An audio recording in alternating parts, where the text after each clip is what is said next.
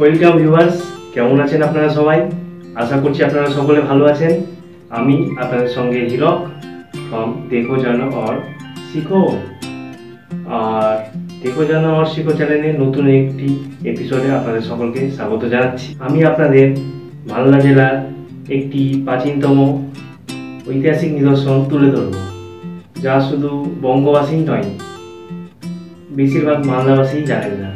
আপনারা গৌড় আদিনা, পান্ডুয়া, জগজ্জীবনপুর, হয়তো গিয়ে থাকতে পারেন। কিন্তু শহরের এত কাছে ইংলিশ বাজারের নিমাইসারার এই মিনারটি হাতে গোনা কয়েকজন দেখে থাকতে পারেন। আমি স্বয়ং মালদাবাসী হয়ে জীবনের অনেকগুলোই বছর কাটিয়ে আসার পরে অবশেষে এই মিনারটি দেখে খুবই গর্বিত হয়েছি। আপনারাও দেখুন আর শেয়ার করে অন্যকে দেখার সুযোগ করে দিন। আর যদি কেন্দ্র বা রাজ্য সরকারের কোনো পর্যটন বিভাগের আধিকারিক এই ভিডিওটি দেখছেন এই মুহূর্তে। তবে তাদের কাছে আমার বিনীত অনুরোধ, তারা যেন এই প্রাচীন স্মারকটি রক্ষণাবেক্ষণের জন্য সরকারের দৃষ্টি আকর্ষণ করে এবং এই জায়গাটি যাতে ঐতিহাসিক স্থান হিসাবে পরিগণিত হয় তার চেষ্টা করে। ভিডিওটি শুরু করার আগে সবার কাছে আমার একটি রিকোয়েস্ট যদি আপনি এখনও পর্যন্ত এই চ্যানেলটি সাবস্ক্রাইব না করে থাকেন, তো শীঘ্রই নিচে লাল রঙের সাবস্ক্রাইব যে বাটনটা দেখতে পাচ্ছেন, তাতে ক্লিক করে সাবস্ক্রাইব করে দেন। এর ফলে যখনই যখনই আমি নতুন নতুন ভিডিও ছাড়বো, তখন সেই এপিসোডগুলি আপনি দেখতে পাবেন। তখনই যখন তার পাশের ঘন্টাটিকেও আপনি টিপে দেবেন। এর ফলে হবে কি আপনাদের কোনো ভিডিও মিস হবে না। ইংরেজ বাজার শহর থেকে পাঁচ কিমি দূরে এই মিনারটি অবস্থিত। জায়গার নাম অনুসারে একে নিমাইসারা মিনার বলা হয়।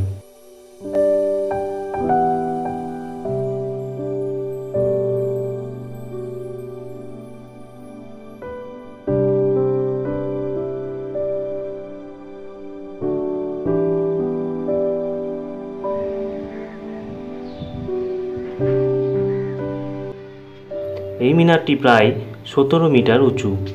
মিনারটি মহানন্দা ও কালিন্দী নদীর সঙ্গম স্থলের পাশে অবস্থিত।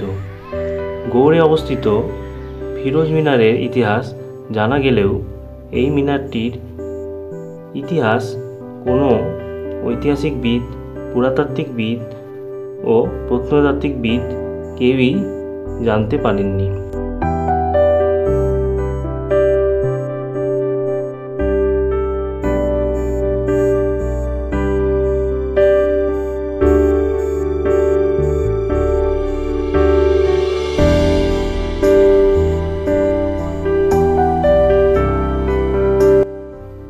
তবে লোকমুখে শোনা যায়, এটি কোনো এক হিন্দু রাজা নির্মাণ করেছিলেন, যখন এই গৌড়ভূমিতে হিন্দু রাজত্ব ছিল। সেই সময় ব্যবসা বাণিজ্যের অন্যতম মাধ্যম ছিল জলপথ, আর এই জলপথের ব্যবসা বাণিজ্য তথা জলদস্যুদের উপর নজরদারি চালাবার জন্য এই মিনারটি নির্মাণ করা হয়েছিল। তবে অতীতে এই মিনার আরও দীর্ঘ ছিল। সময়ে সময়ে এটি ধ্বংসপ্রাপ্ত হয়ে বর্তমান আকৃতিতে এসেছে।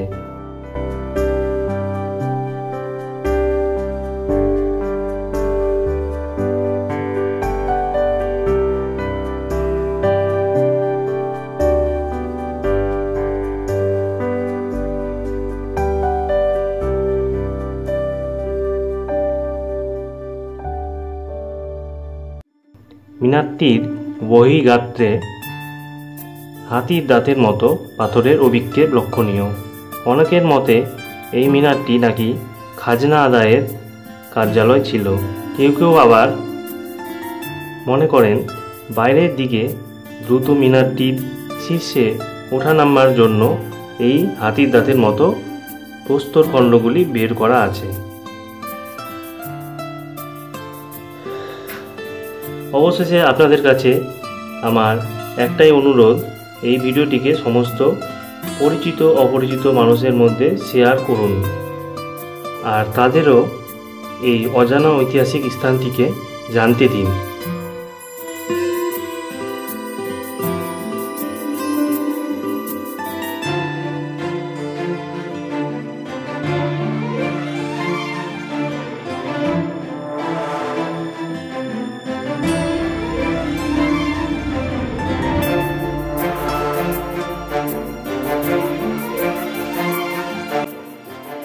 আর ভিডিও ভালো লাগলে অবশ্যই লাইক করে কমেন্টে নিজের মতামত জানাতে ভুলবেন না।